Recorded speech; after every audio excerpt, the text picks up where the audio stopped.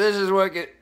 This is Wicked Suppah, and we're making the Indian curry. Um, the Milwaukee Brewers, the Los Angeles Dodgers. We got this wooden spoon here. The Red Sox going all the way, uh, in Fenway. But what we got here is we're gonna like slow cook. I have one hand here, folks, but we're gonna put this rice in that bowl, and we plate these up with tomatoes, sliced tomatoes, Roma tomatoes.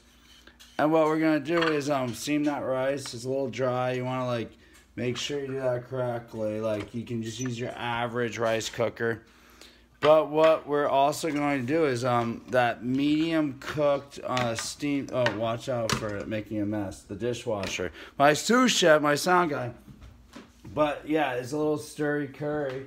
And what we're gonna do is um like drizzle it. You don't want to drizzle it because it might make it soupy. But what you kind of make do is like a little bit of a stirred curry.